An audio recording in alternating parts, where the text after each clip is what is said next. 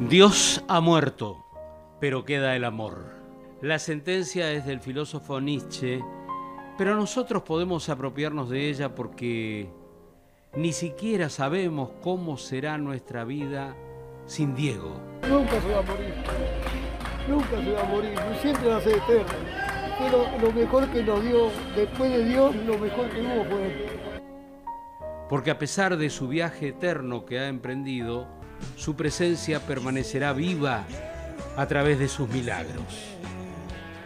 Porque si obviamos sus debilidades humanas, todo lo demás que hizo no cabe dentro de la lógica. Lo que le vimos hacer fue como, como abrir las aguas del Mar Rojo. Fue como escuchar a Cristo decir, mi reino no es de este mundo.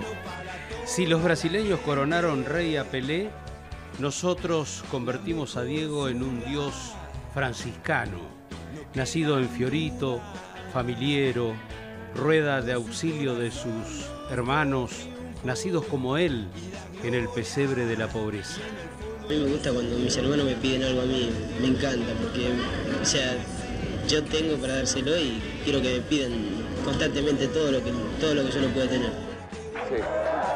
Y mientras empezó a predicar su magia con los pies y cada vez conquistaba más y más almas, más feligreses que lo seguían como lo que era, el fundador de una nueva religión, empezó a compartir su vida con su primera novia, con Claudia Villafañe, y llegaron sus hijas, Dalma y Gianina. Todo era ternura antes de la tormenta. Sus hijas recogían margaritas para ponerle en las medias a papá en los entrenamientos.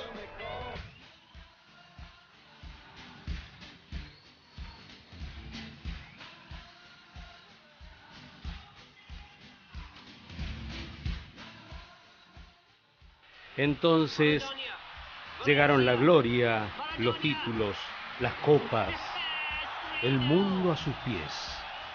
Coppola siempre a su lado, el amigo del alma. Hasta lo que tenemos muy grabado a fuego, el 86, el México, ¿quién no lo recuerda?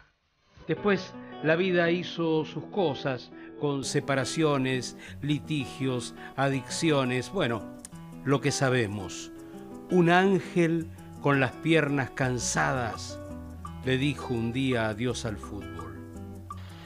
Cierto ocaso, una paulatina decadencia física, lo acompañaron hasta los 60 años que parecían 80 a nuestro Dios. Hasta que, ya descarnado, medio ido de este mundo, dijo algo hace algún tiempo, mientras era técnico de gimnasia y esgrima, que sonó premonitorio. Y porque yo me crié con amor. Yo no me, no me crié ni con bicicleta, ni con asfalto, ni con eh, patio, patio de baldosa. Yo tenía un patio de tierra. Y daría todo lo que tengo hoy por, por porque mi vieja se aparezca por esa puerta. Nada más. Y casi, casi que pareció una señal. Ahora Diego está en algún lugar con sus dos viejitos. Es bueno pensarlo así, de una manera simple, casi como un lugar común, pero qué cosas extrañas y circulares rodean la vida de Diego. A su última morada, y se ve en la foto, fueron todos los que estuvieron en su cuna futbolística al principio. Esta Coppola, Claudia, sus hijas. Dios ha muerto, pero queda el amor.